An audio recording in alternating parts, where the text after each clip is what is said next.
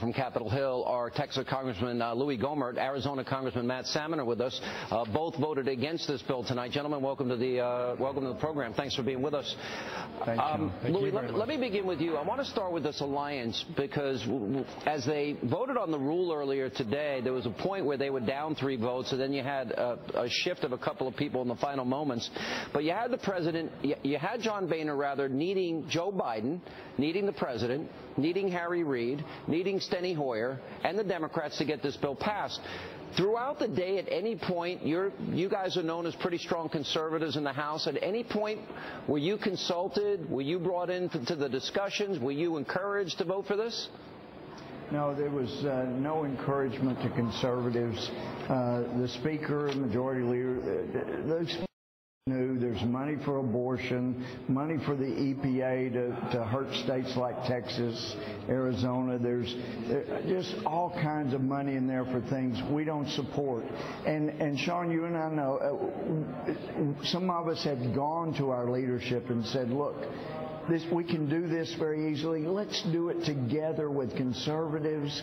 It, that's the bulk of our conference. Don't make them take a wrong vote. Let's fund everything for two months. Let us have a vote on on uh, defunding Obama's amnesty and we'll even agree that the Senate can take it out if they take the hard vote to do that and let it go from there to the president. We were willing to work with them to compromise, and not one word. As you know, the calls went to the White House. When in a time that the that the speaker needed votes, he turned to somebody that he really identifies with, the president and liberal Democrats, and got them to help him pass this vote.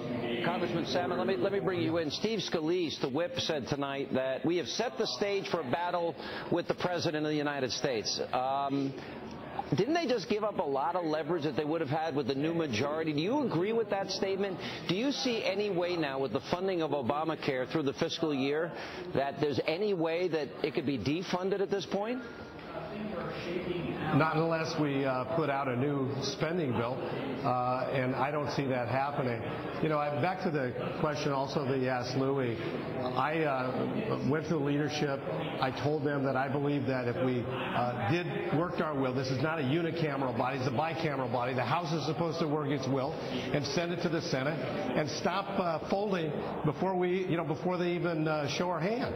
And so I, I, I said if we would send it to the Senate, and then let it them work their will, we may be surprised. Maybe a lot of Democrats over there are feeling a lot of pain and heat from the election that they'll do the right thing. But we'll never know. You never know if you always punt the ball. Sometimes you got to run it, sometimes you got to pass it. But my frustration is, you know, I led the charge with uh, the letter uh, uh, about a month and a half ago with 69 people to say we wanted to defund the thing. Then Mick Mulvaney and I were the two guys leading the rule.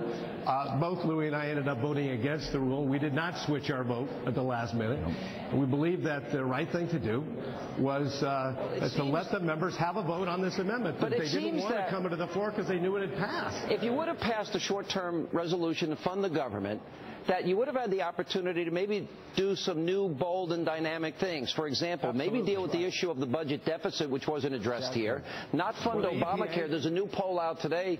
58% of the American people want it repealed. That you could have addressed that issue. And John right, Boehner, the Speaker, you know, work with the President, Vice President Harry Reid to get this thing done. So one has to ask the question, did John Boehner mean what he said when he talked about that they were going to defund Obamacare, re re repeal and replace it? Did, why is John Boehner gonna, cutting deals with the was, president? He said he was going to fight a tooth and nail.